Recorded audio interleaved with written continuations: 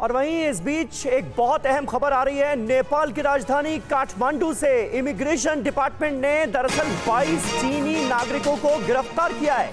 संदिग्ध गतिविधियों के बाद पूछताछ के लिए इन्हें गिरफ़्तार किया गया है। ये स्टेटमेंट सामने आया है नेपाल के इमिग्रेशन डिपार्टमेंट का। सभी पर अवैध गतिविधियों में शामिल होने का आरोप है।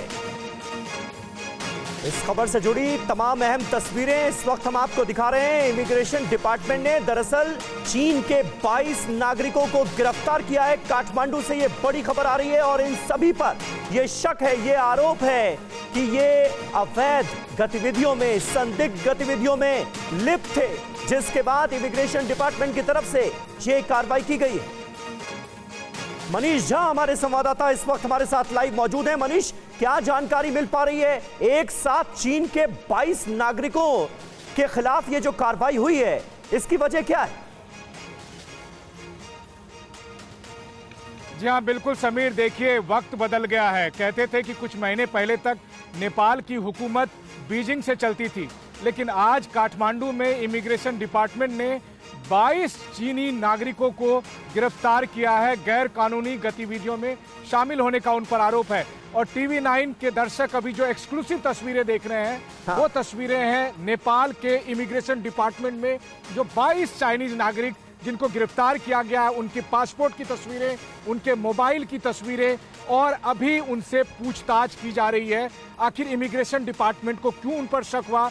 अभी फ़िलहाल आधिकारिक बयान यही जारी किया गया है कि वो लोग गैर कानूनी गतिविधि में शामिल थे। क्या वो नेपाल के खिलाफ कोई कार्रवाई में कर रहे थे? हम्म। या नेपाल में किस तरह की गैर कानूनी गतिविधि में शामिल थे?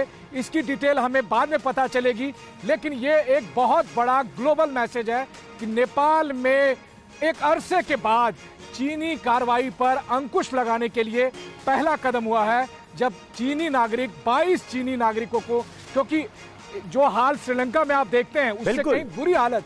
पिछले कुछ समय में हमने देखा था कि किस तरीके से नेपाल में हो रहा था। हम्म। लेकिन नेपाल में चीनी नागरिकों की गिरफ्तारी दरअसल केवल गैर कानूनी गतिविधियों पर अंकुश लगाने का मैसेज नहीं है बल्कि दुनिया को मैसेज है कि नेपाल चीन से आज़ाद होने की अपनी पूरी ताकत को, मजबूती के साथ दुनिया को दिखा रहा है। जी।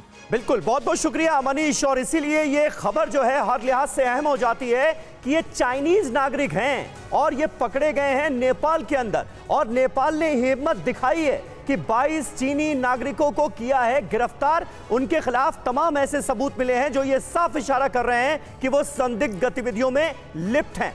जानने की कोशिश ज़रूर करेंगे कि आखिर क्या आरोप लगा है उनके ऊपर और इनका जुर्म क्या है? परवाह देश की। सोमवार से शुक्रवार रात 10 बजे टीवी 9 भारतवर्ष पर।